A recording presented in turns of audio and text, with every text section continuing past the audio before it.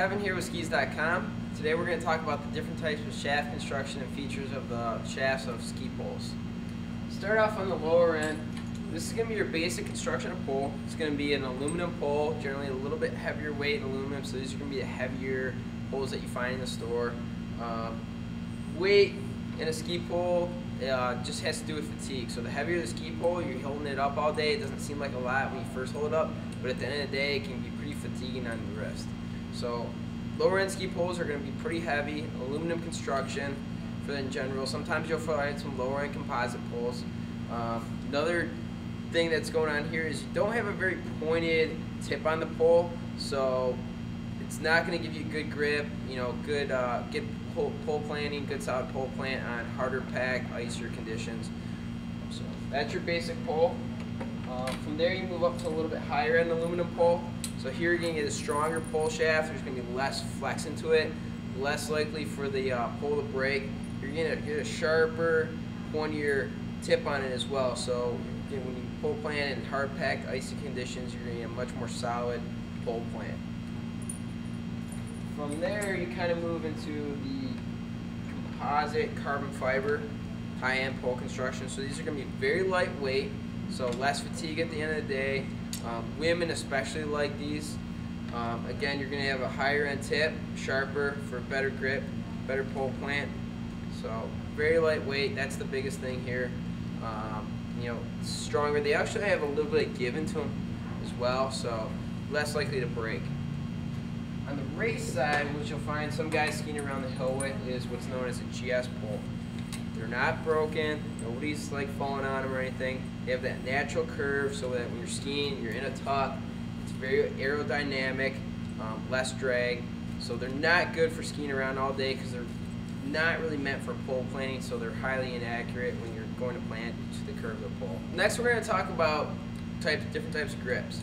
Your basic grip, basically, you're getting a single mold, just hard plastic um, grip. So it some of them will have a, a, single finger mold into them, so they're decently comfortable, but they're not soft to the touch. They're pretty firm. You get a basic strap with them just to basically hold your wrist to the pole.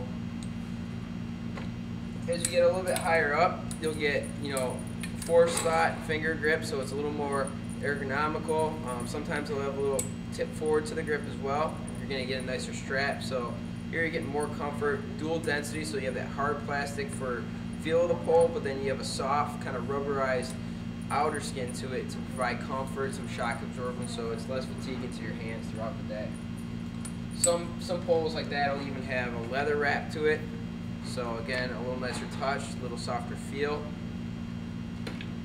Some poles too will have grips where it features a forward angle to it, and that's again going to be less fatiguing to the wrist, so it's a little more natural, you know, ergonomical.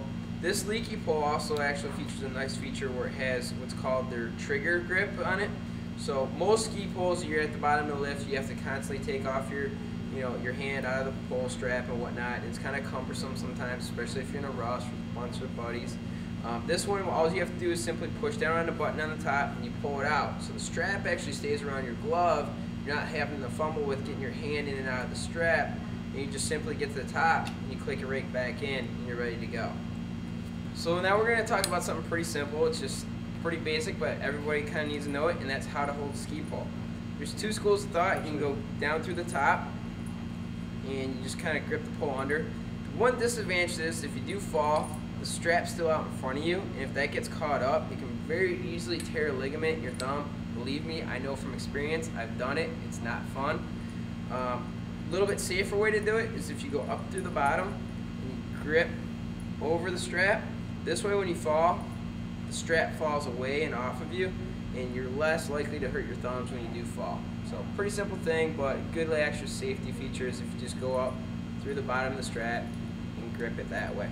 You'll save your thumbs. So just kind of wrap things up here. We've talked about the different types of construction of the shafts. You know, carbon fiber versus aluminum and composite. Obviously a lighter weight pole, you're going to save yourself some fatigue at the end of the day. Um, different types of tips on them, different types of grips how to hold a ski pole. Really when it comes down to it though, it's all about how the pole looks. They're doing some really cool treatments to the poles these days. This one's got a velvet overlay on it, velvet grip, so nice soft to the touch. A lot of ladies like that. You know, you've got some pinstriping action here on the Scotts. You know, leather strap, pretty sweet. I kind of like that one. Uh, the Roxy one, got some metallics in the paint. You know, nice little snazzy thing for the younger girls out there. And then K2 is doing some pretty cool stuff as well. You can see the carbon fiber in the pole, some leather, some chrome on the grip. Nice looking pole. All different kinds of graphics. Find one that's going to match you. It's really going to help your outfit pop. Those brand new pair of skis. Add a little extra bling to the things. Nothing wrong with that.